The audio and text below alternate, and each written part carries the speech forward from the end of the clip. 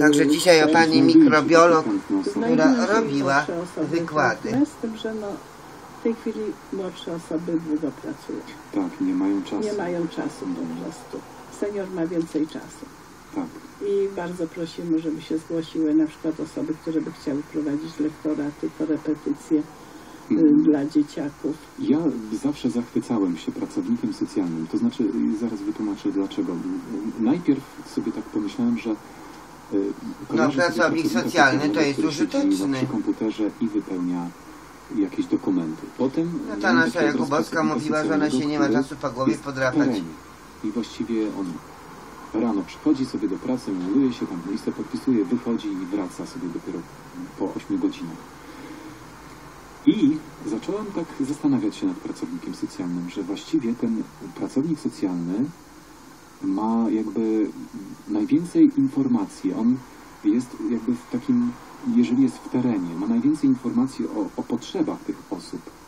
I tu pani jeszcze opowiada, pa, panie mi dzisiaj opowiadają, że jest jeszcze takie Centrum Aktywności Lokalnej, które działa przy Ośrodku Pomocy Społecznej, które właśnie jeszcze integruje środowiskowo, że to mnie właśnie zachwyca w pracowniku socjalnym, że on jeszcze ma czas, żeby jakby widzi te potrzeby, a on jeszcze to połączy. Połączy właśnie z panią mikrobiolog, z osobą, która potrzebuje czegoś i to jest dla mnie właśnie no, niesamowite właśnie w pracowniku socjalnym, że tak potrafi łączyć te potrzeby, e, pragnienia i, i to jest no, no niesamowite I, i, zawsze się tym zachwycam, jak spotykam właśnie takich pracowników socjalnych. Czy takie Centrum Aktywności Lokalnej jest tylko na Białołęce, czy też w innych miejscach? Na, na Pradze Południe, z tego co Mhm. wiem. Niektóre ośrodki... Inaczej za- się pewnie też nazywają. Tak, Takie- inaczej się też nazywają. Niektóre ośrodki są w o tyle lepszej sytuacji, że ich dzielnice mają więcej y, wolnych lokali i mogą Mhm. po prostu mieć miejsce do działania. U nas na Białęce jest bardzo skromnie z tym. Jesteśmy praktycznie jedynym miejscem, gdzie mieszkańcy mogą się spotykać. różni. Bo warto też podkreślić, że sama nazwa Centrum Aktywności Lokalnej, tak jak Renka powiedziała, e, my integrujemy tą społeczność lokalną, ale nie pracujemy tylko i wyłącznie na rzecz e, seniorów, Mhm. ale na rzecz osób niepełnosprawnych, e, prowadząc grupy wsparcia między innymi. Mhm. Pracujemy z dziećmi zagrożonymi wykluczeniem społecznym. To się mówi z dziećmi, nie z dziećmi. blokowisk, że tak powiem, które znajdują się przy naszym miejscu pracy, przy centrum. E, Także jest to spektrum e, dosyć szerokie. E, I co chciałabym jeszcze powiedzieć, że staramy się seniorów właśnie integrować ze środowiskiem. Ze środowiskiem, z dziećmi, począwszy od malucha, czyli przedszkolaki, poprzez przedstawienia, występy, czyli przedszkolaki przychodzą do nas, do centrum i prezentują swoją Tak, twórczość, tak? tak, tak. E, poprzez też młodzież, czyli wolontariat, poprzez wsparcie właśnie seniorów. Ja, ja też wielokrotnie bywałem w takich, byłem w przedszkolu właśnie z grupą seniorów, czy odwrotnie y, przedszkolaki przychodziły właśnie do seniorów i y, co mnie zawsze dotyka, to, to może nie jest najważniejszy ten występ, to, że my siedzimy i oglądamy was, czy wy występujecie i my na was patrzymy, tylko, tylko te spojrzenia, te myśli, te rozmowy, to co się potem w międzyczasie wydarza. I, I potem, kiedy patrzę na uśmiechniętą osobę starszą. No było trochę staruszków, ale byli, były też i dzieci. myślę, że to tak naprawdę to o to chodzi, żeby się spotkać i ze sobą porozmawiać. Bardzo miły ten Rafał Olbiński jest. To on jest, proszę ciebie, w Johannesburgu. I, te talenty są No. właśnie takim nośnikiem, tak sobie to wyobrażam i tak bym bardzo chciał, żeby Rozmawiam tak z nimi, rozmawiam, proszę ciebie. I on powiedział, że to jest w Johannesburgu. coraz bardziej się otwierają, czego dowodem są różne organizacje pozarządowe, które też Aż taki miły ten Rafał ośrodkami, czy właśnie pracownicy socjalni, czy terapeuci, czy opiekunowie.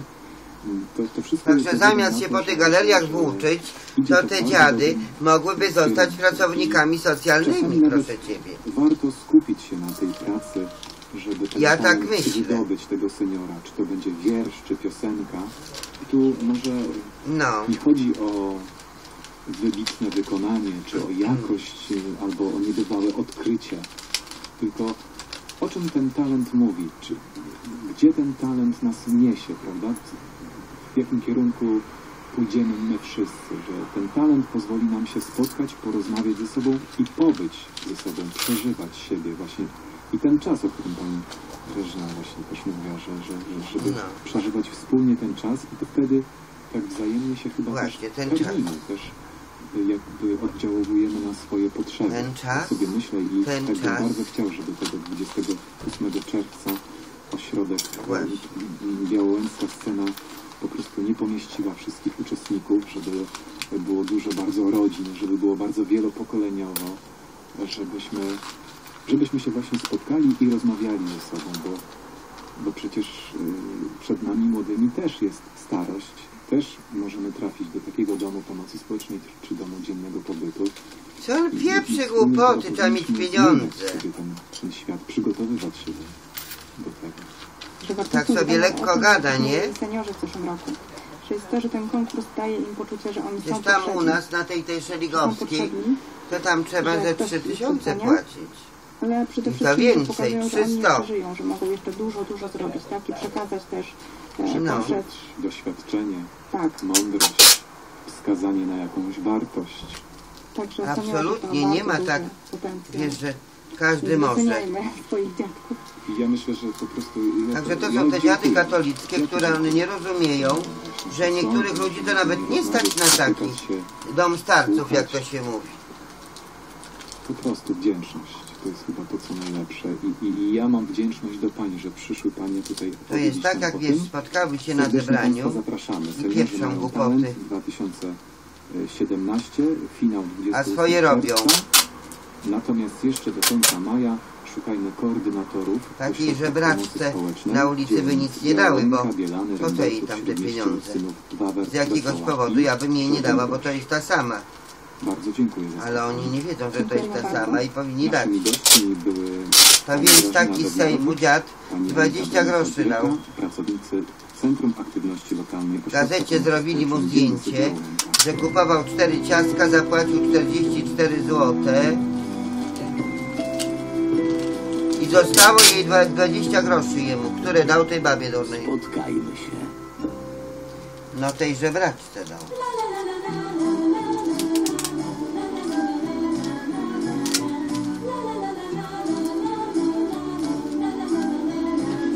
Także o,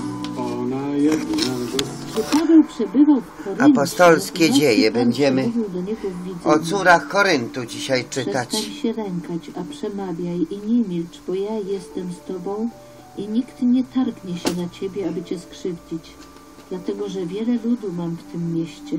Tak, Pozostał więc i głosili im Słowo Boże przez rok i sześć miesięcy. rok i 6 miesięcy Kiedy w Koryncie. No, Achai, Żydzi jednomyślnie wystąpili przeciw Pawłowi i przyprowadzili go przed sąd. Powiedzieli, ten namawia ludzi, aby czcili Boga niezgodnie z prawem. Gdy Paweł miał już usta otworzyć, Galio przemówił do Żydów. Gdyby tu chodziło o jakieś przestępstwo albo zły czyn, zająłbym się wami, Żydzi, jak należy, ale gdy spór toczy się o słowa i nazwy i o wasze prawo, rozpaczcie to sami. Ja nie chcę być sędzią w tych sprawach. I wypędził ich z sądu. A wszyscy Grecy, schwyciwszy przewodniczącego synagogi, Sostenesa, bili go przed sądem, lecz Galio wcale o to nie dbał. Paweł pozostał jeszcze dłuższy czas, pożegnał się z braćmi i popłynął do Syrii, a z nim Pryscylla i Akwila. W Kenrach ostrzygł głowy, bo złożył taki ślub.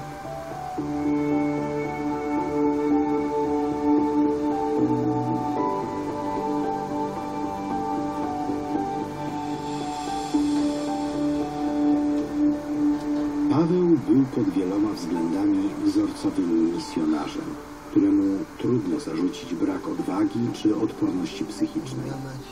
A jednak i on, gdy jego heroiczne próby przekonania Żydów w Koryncie do wiary w Jezusa zakończyły się klęską, potrzebował pociechy i umocnienia od Boga. Ci, których zbawienia najbardziej pragnął, odrzucili go i stali się jego zaciekłymi wrogami do tego stopnia, że usiłowali postawić go, jak kiedyś postawiono Jezusa, przed Trybunałem Rzymskim. Paweł miał prawo załamać się i odejść z miasta, Jednak otrzymane objawienie przekonało go, że jego misja ma sens, a Jezus ma wobec niej swoje plany, choć nie do końca pokrywające się z jego własnymi. Trudno jest pogodzić się z tym, że nasze przekazywanie wiary innym, nawet najbliższym, wcale nie musi spotkać się z entuzjastycznym odzewem i to niekoniecznie z naszej winy. Ewangelizacja zawsze wymaga pokory i poszanowania wolności drugiego człowieka. Przepowiadanie Pawła, a nawet samego Jezusa, także nie było pasmem spektakularnych sukcesów. Jednak Bóg oczekuje od nas nie tyle efektów, co wiernej chrześcijańskiej obecności tam, gdzie nas postawił. Owoce zapewni On sam we właściwym czasie, tak jak zapewnił owocność posłannictwu Pawła.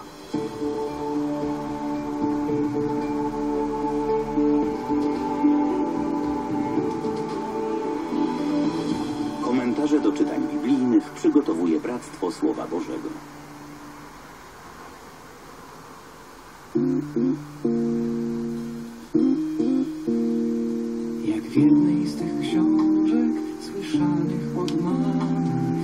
Bzdury. Biblię czytaj, dziado, a nie książek.